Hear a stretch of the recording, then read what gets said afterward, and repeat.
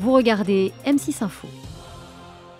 Les hôpitaux actuellement pris d'assaut en raison de l'épidémie de grippe. Elle a déjà tué 1100 personnes cette année, tandis que le vaccin est d'une efficacité moyenne. Deux virus circulent, ils fonctionnent bien sur l'un, mais moins sur l'autre, d'où ce regain d'activité aux urgences et pour les médecins. Romain Le Petit, Marie de Crème et Sybille de Lettres.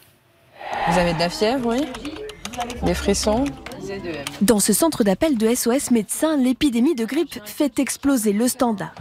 Une cinquantaine de praticiens assurent chaque jour des gardes pour faire face au nombre croissant de patients. Ça représente un nombre non négligeable euh, de nos visites.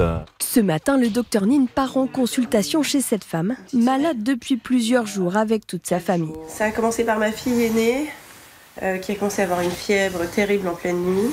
Une forte fièvre, des courbatures, un mal de gorge et le nez qui coule, et ce pendant plusieurs jours, les symptômes habituels de la grippe. Au revoir, hydratez-vous bien, puis lavez-vous bien les mains pour éviter la contamination, euh, mouchoir usage unique, euh, éviter de rester euh, trop longtemps euh, de façon rapprochée avec d'autres personnes pour éviter de les, les contaminer, et puis bon, ça devrait rentrer dans l'ordre.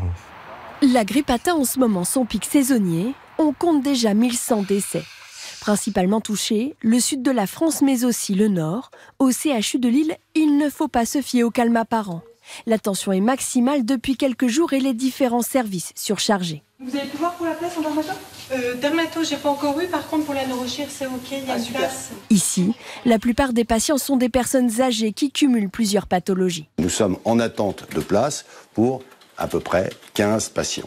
Pendant ce temps-là, les patients vont continuer à arriver, certains patients auront besoin d'être hospitalisés. C'est une espèce de dynamique infernale permanente, 24 heures sur 24. Maintenant que le pic est atteint trop tard pour se vacciner, seules sont efficaces les mesures d'hygiène, éternuer dans son coude, se laver régulièrement les mains, utiliser des mouchoirs jetables et porter un masque lorsque l'on est malade.